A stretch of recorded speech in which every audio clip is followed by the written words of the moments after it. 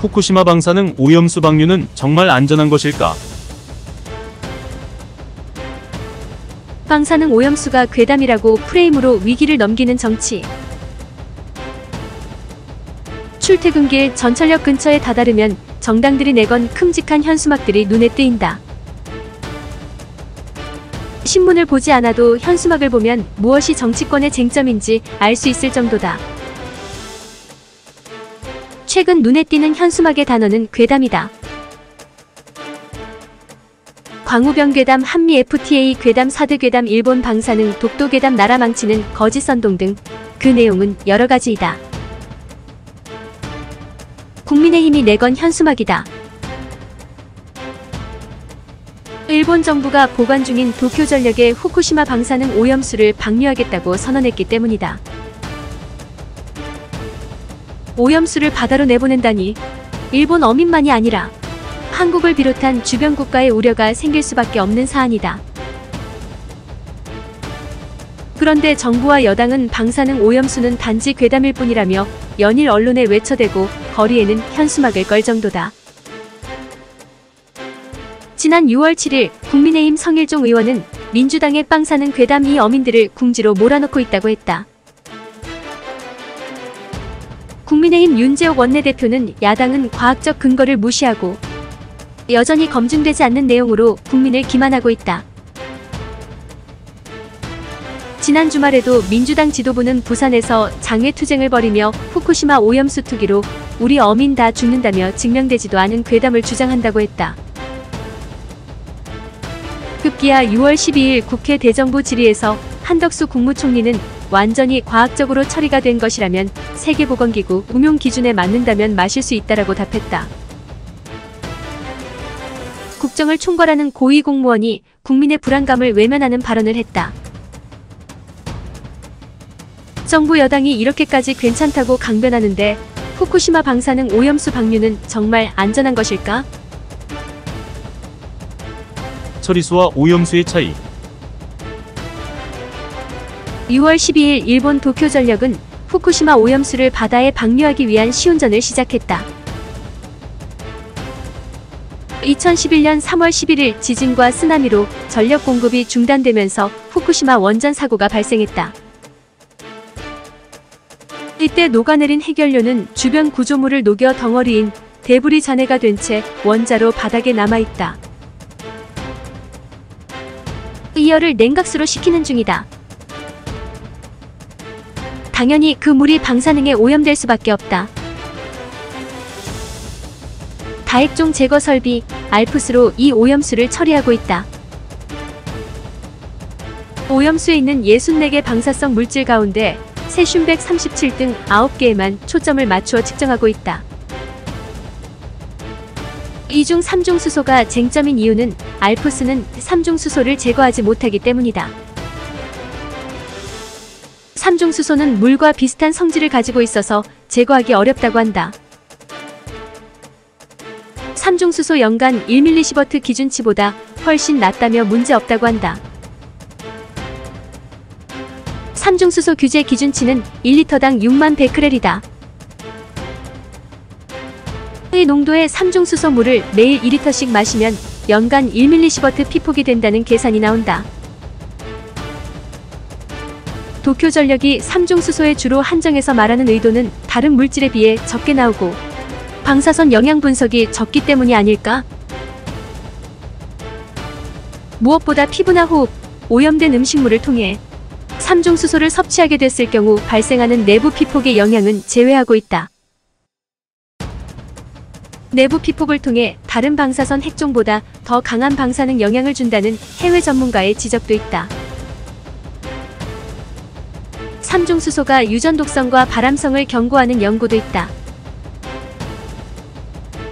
3중 수소가 아니어도 다른 방사능 물질은 계속 검출되고 있다. 방사선 핵종인 우라늄의 경우 45억 년의 반감기인 우라늄 238이 누출됐다. 후쿠시마 앞바다에서 기준치 180배의 방사성 세슘이 검출된 우럭, 쥐노래미의 발견이 이미 보도되었는데 안심하라고 말만 한다고 될 문제가 아니다.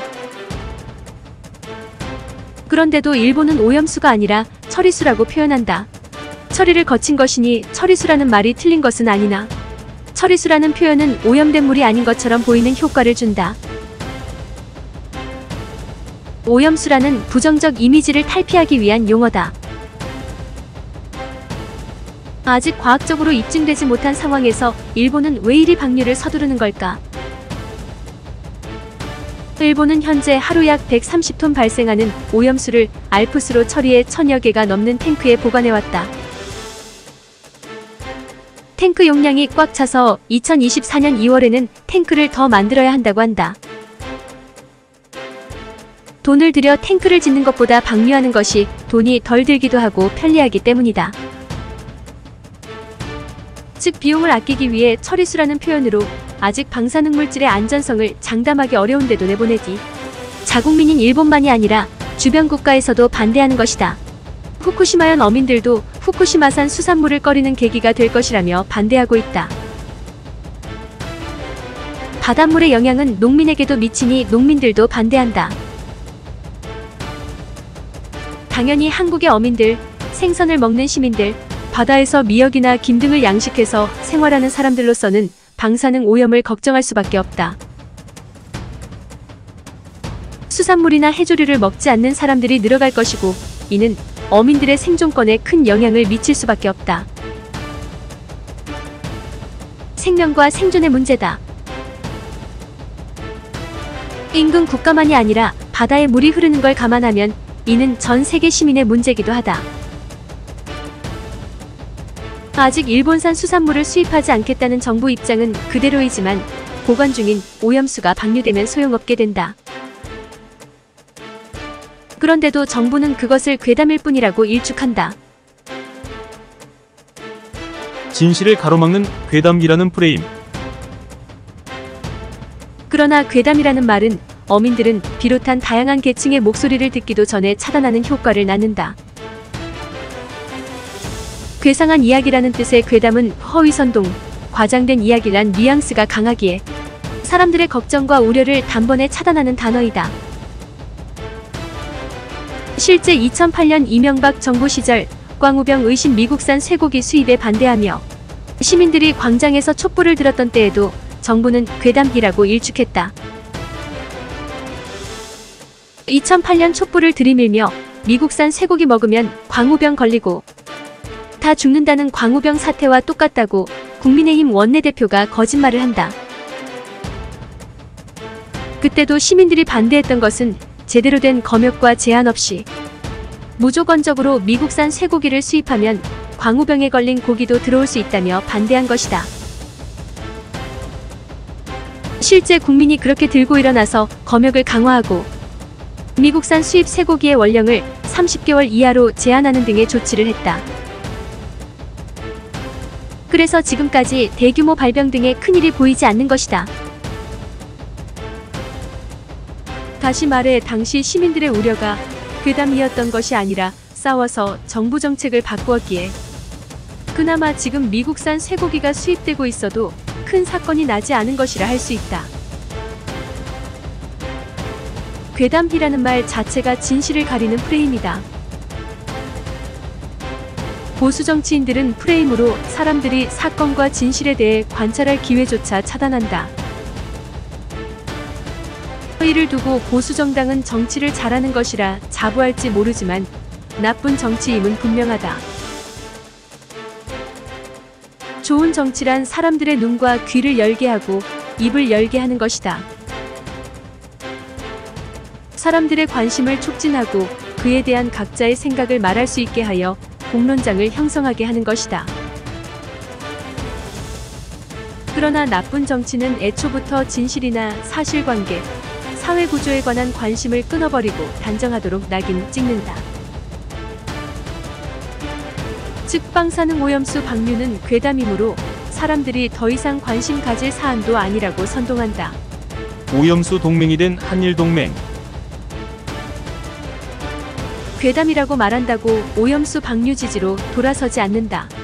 사람들이 불안해하지 않도록 투명하게 증명하고 대책을 내야 한다. 의견을 내지 못하도록 막는다고 불안이 사라지지 않는다. 정부가 대책을 마련하지 않는데 불안이 사라질 리 없다. 시민들의 불안은 소금과 김 등의 사재기로 나타나고 있다. 자고 일어나면 소금값이 5천원씩 뛰고 있을 정도라고 한다. 소금은 필수적이라 모든 음식에 들어가니 더하다. 오염된 것을 먹지 않더라도 오염된 바닷물은 전 세계의 바다로 흘러가니 전 지구적 생태계 파괴로 이어질 수밖에 없다. 상간에 있는 사람은 안전할까? 바다에 기대어 사는 사람들만이 아니라 바다와 멀리 떨어진 사람들도 공기의 순환 속에서 바다 오염의 영향을 받는다.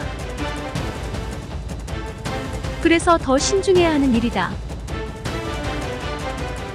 모두의 현재와 미래의 생존이 걸려 있고 생태계의 지속과 관련된 문제다. 해양 생태계의 안전과 사람들의 생존이 걸린 사안이니 급하게 방류하지 말고 철저한 검증을 거친 안전성을 확보하며 다른 방안을 모색하자는 것이 어찌 괴담이란 말인가. 온갖 우려가 있고 과학적 근거에 대해서도 분분한 상황이고 다른 핵종에 의한 감염 어종이 나오는 현실을 외면한 채 정부가 괴담이라고 손 놓고 있어서는 안 된다. 그런데도 한일 양국은 문제 없다는 말만 반복하고 있다. 세계 시민사회에 이런 협소하게 하면 유엔 인권위 사회의 일원으로서 전 세계를 위험으로 빠뜨리려 하고 있다. 그야말로 오염수 동맹이다. 우리가 맞서야 하는 것은 괴담이 아니라 오염수 동맹을 깨는 일이 아닐까. 괴담이라는 표현으로 가리려는 인권과 생태계 파괴의 문제를 오염수 동맹의 탐욕에 저항해야 하지 않을까.